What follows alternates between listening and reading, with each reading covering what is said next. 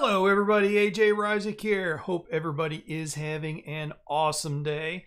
I know that I'm doing pretty good. Uh, first of all, wanted to start by saying sorry about the delay on getting another video out, but Murphy's Law had reared its ugly head this past week, and the entire week of doing videos that I'd planned on, it just didn't happen.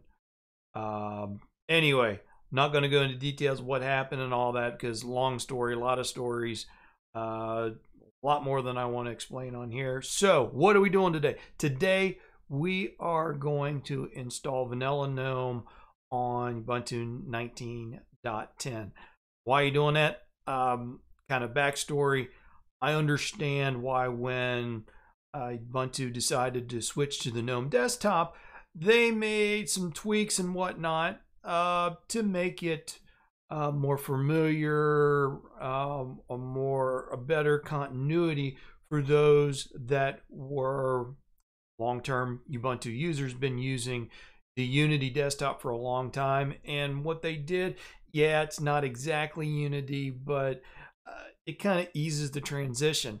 Now, for somebody like me who has been using GNOME Shell for uh, a long time. Let's just go with that. Um, I don't like what they did. Uh, I much prefer the vanilla GNOME experience. Um, so, you know, for me, while you know when I look at, at the current Ubuntu, it's like, yeah, that's a that's a pretty nice uh, distro. At the same time, I'm like, yeah, I want real GNOME. I don't want your version of GNOME. So today's video, we are going to take a look at how to set that up on Ubuntu 18, or I'm sorry, not 18, 19.10. I almost screwed that one up. Uh, anyway, let's get to doing that. Okay, so here we are. We are in Ubuntu 19.10. Uh, I'm actually running this in a virtual machine using uh, GNOME boxes. I am run for those that are interested. Currently, I am running um, Manjaro as uh, as my distro of choice. But uh, so let's open up the terminal,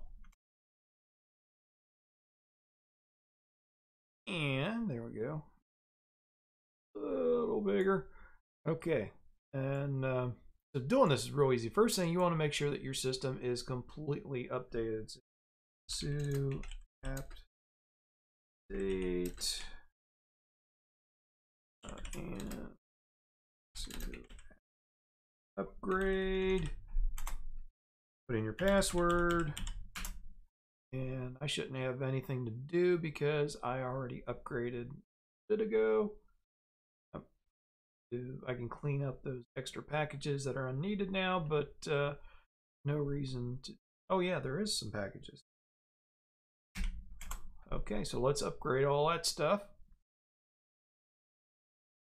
Surprising, because I just uh, I just upgraded that this morning, but hey, uh, whatever. Okay, that is all upgraded. So, add this really simple. I'm just going to copy and paste from my notes over here. To apt install gnome-session. Hit enter. Boom, zero upgraded, three newly installed, zero to remove, and zero not. And good, you want to do that? Yes, boom. And we let the magic occur. That's, you know, most part. Uh, that's all we need to do to install it. Now, if you want to have the GDM screen, the, the GNOME Display Manager login screen that comes with vanilla GNOME. If you want to use that screen, one additional thing you got to do, copy from notes here. Hmm. Try that again. There we go. A little bit of a lag there because of the virtual machine.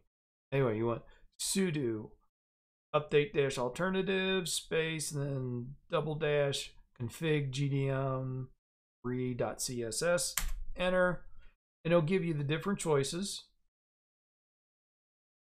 uh, for which one of the installed GNOME shell themes you want to use. We want to use number number two. Number two, enter, and boom, it is updated. So now all you need to do is we need to restart our system. Here. We will restart.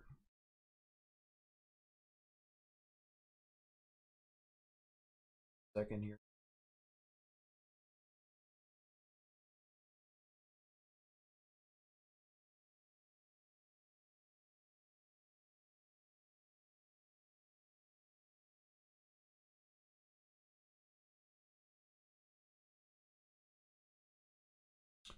Okay, there it is. Now, come down here, see the little scroll wheel, cog wheel, whatever you want to call it. You got several options, Ubuntu, Ubuntu on Wayland, GNOME on Xorg, GNOME. You're going to want to do one of these two. Um, I would do GNOME on Xorg. And our password.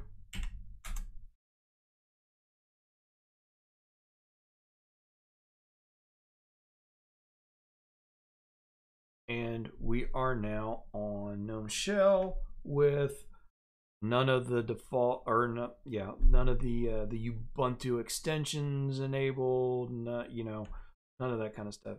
Um, get your default the default uh, um, I want to brain cramp here. Um, the default uh, GNOME setup as far as you don't you're not running the the Ubuntu dock and any of that kind of stuff.